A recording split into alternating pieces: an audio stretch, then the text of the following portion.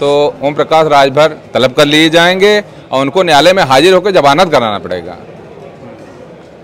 और बिना यहाँ आए उन, उनका कल्याण नहीं होने वाला है। यादवों के खिलाफ ये बहुत ही गलत और निंदनीय कृत्य है और इससे यादव समाज के लोग बहुत आहत हुए हैं और दुखित भी हैं इस तरह के कृत्यों से। राजनीति इतनी नीचे स्तर की राजनीति नहीं होनी चाहिए। जी। और इनको तो सज़ा मिलनी ही चाहिए।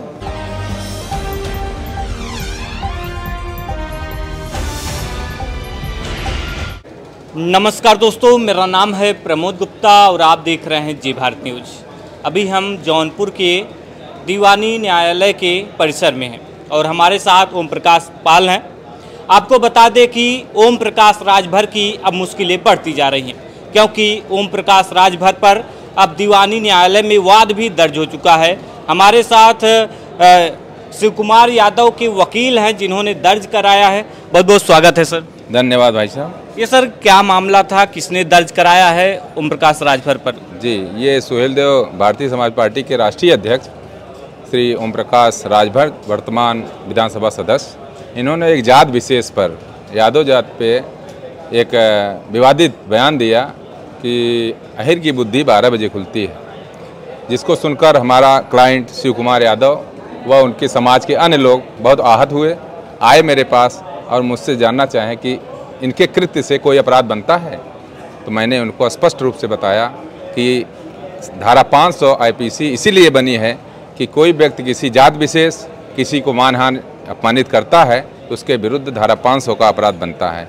और उसके कहने पर मैंने एमएलए एमपी कोर्ट में श्री ओम प्रकाश राजभर के खिलाफ परिवाद दाखिल किया, जो मजिस्ट्रेट साहब दर्ज कर बयान के लिए दिनांक तेईस नौ, तेईस तारीख नियत की है।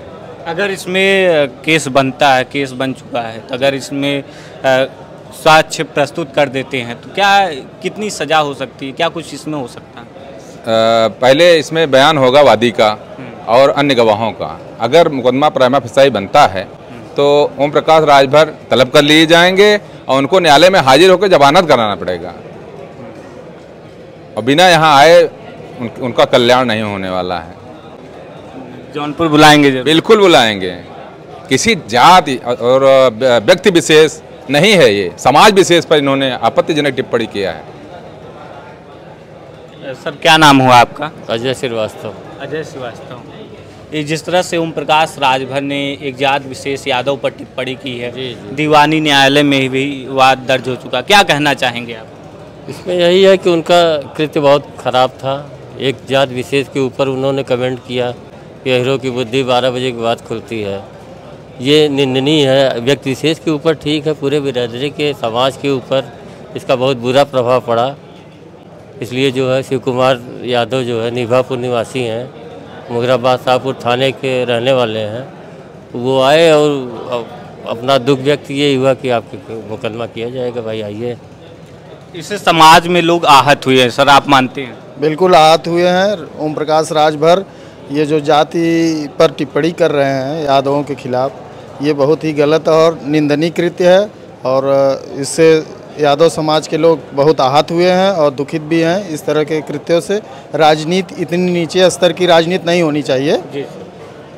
और इनको तो सज़ा मिलनी ही चाहिए। इस तरह के वक्तव्य से इन लोगों ये लोग नेता हैं तो कम से कम अपनी भाषा पर को स्वयं संयम रखना चाहिए। और बहुत ही निंदनीय कृत किया है उनके ऊपर मुकदमा हुआ है बहुत सही हुआ है उनको सज़ा मिलनी चाहिए।